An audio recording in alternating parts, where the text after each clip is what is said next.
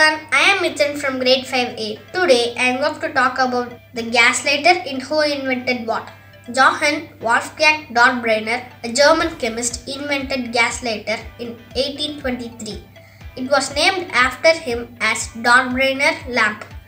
It worked by passing hydrogen gas over a metal catalyst which created a chemical reaction that created heat and light. Hope this talk is informative. Thank you. Have a great day.